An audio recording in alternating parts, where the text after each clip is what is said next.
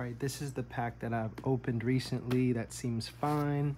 I'm not sure if there's a serial number on this specific one, but that's the barcode. These are the ones that taste like toilet water. Oh, and here's something on the side that might be helpful. Um, I know recently they all say June 30th. These are specifically the bottles that I've had to like kind of discard and throw to the side.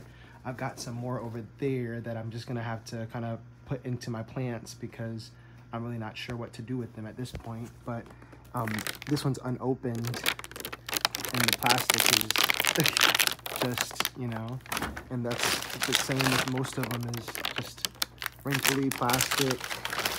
Like this one is terrible. And some of them lately have been like leaking for no reason. Like this is completely unopened. Look at this.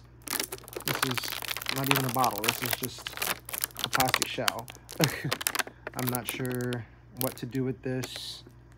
I'm not sure what's going on, but something, I know it's recycled plastic and all, but there's just something else going on with this lately that I'm not trusting.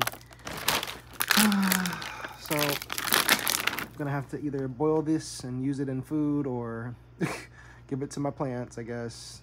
I'm, I'm even scared to give it to my plants, to be honest. I'm just kind of throwing them around because it's like, there's no point.